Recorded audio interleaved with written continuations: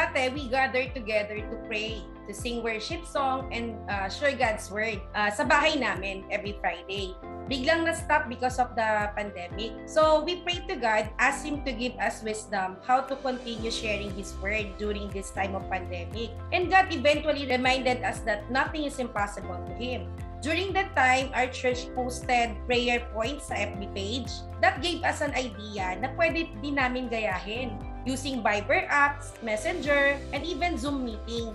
Those were the apps that became our platforms. Sa Viber apps, uh, we send our insight using the Light to My Path, which a uh, lot of my colleagues meron lahat ng Light to My Path na generously given by some of our church members.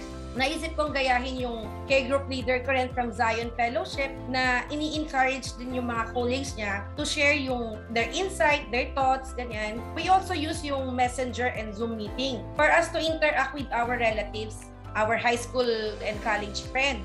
Uh, we started with kumustahan, di ba? Uh, then invite them to join a Bible study. We also invited our family to worship together through St. Stephen uh, Parish uh, worship service video.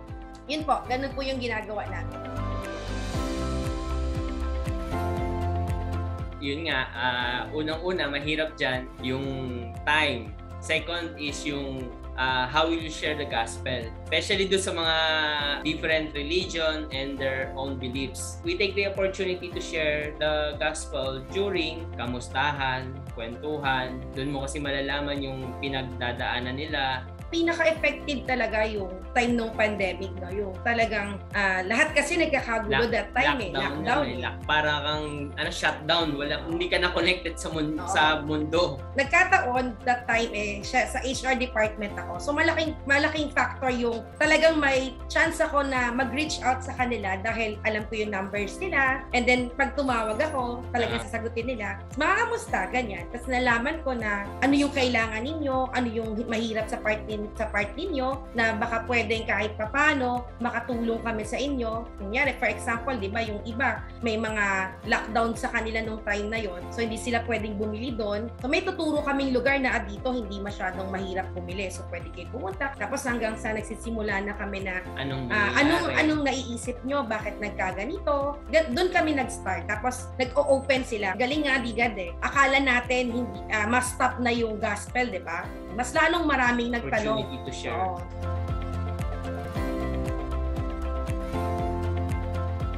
sa workplace namin, may isa akong admin, yung time ng pandemic, no? Ang nangyari kasi, nung nasharean namin ng gospel, na-curious siya, tapos ang dami niyang question.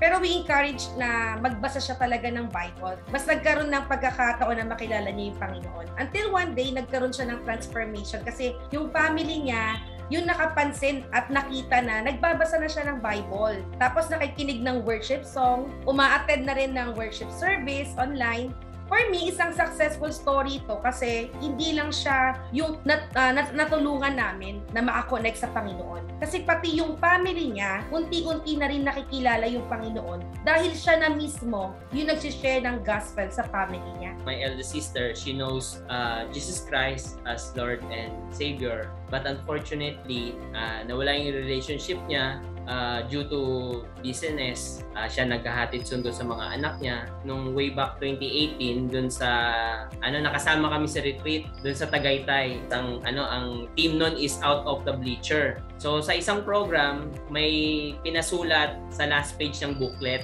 to list down the persons that we wanted to draw near to Christ. So, I wrote down my sister name. Uh, every time na nagkikita kami sa bahay, we never stop sharing the gospel until pandemic strike. Nagkaroon ng lockdown. Lahat nasa bahay. Kaya we remind, reminded her na hindi na magiging busy dahil bawal na lumabas. Uh, by God's grace, my sister started to read the Bible and not only that, the Holy Spirit leads her to desire God. Uh, my sister now is actively attending Bible study and now meron na rin siyang care group from Zion Fellowship. She even attended the first batch knowing class online.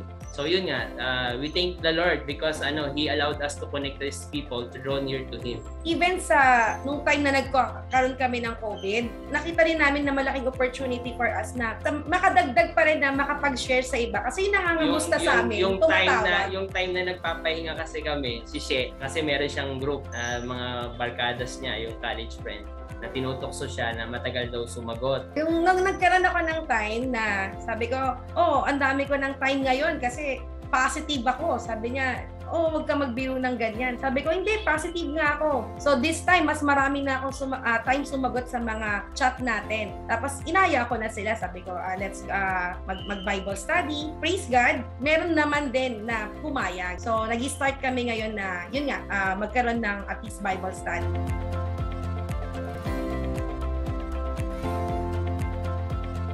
Ang ano lang namin is uh, to share the gospel. Pero hindi kami ang magta-transform which is the Holy Spirit ang magta-transform sa kanila. First of all, we pray to God for wisdom, direction, purpose, and plan. Nakatulong sa amin dito yung we consistently attend worship service. Nag-join kami sa fellowship, may care group kami, and nag-a-attend kami ng Bible studies. This will help you grow your spiritual relationship with God. That will enable you to confidently pray, care, and share. You need to experience God in your life para mas uh, kaya mong i-share talaga uh, si God. Yes, darating yung discouragement, pero ba, parang baliwala lang kasi hindi yun yung focus mo eh. Yung focus mo is to share the good news, which is Jesus Christ. It's a test of patience din eh. Yun nga, endure mo yung mga ganong tao, yung mga ganong bagay. Tulad sa ate ko, way back 2018 pa yun, yung sa retreat. Pero nito na lang, nung pandemic siya, mag-Bible studies. So ngayon, hindi mo akalain na siya pa yung mas active sa amin. Talaga nag-aaral siya.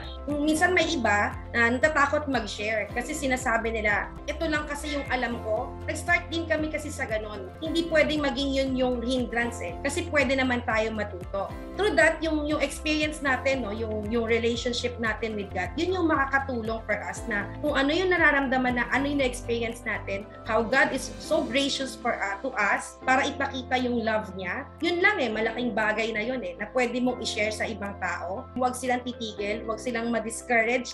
Yung pag nangyari na na-overcome nila yon masaya ka. Masaya ka na you are proclaiming God's word.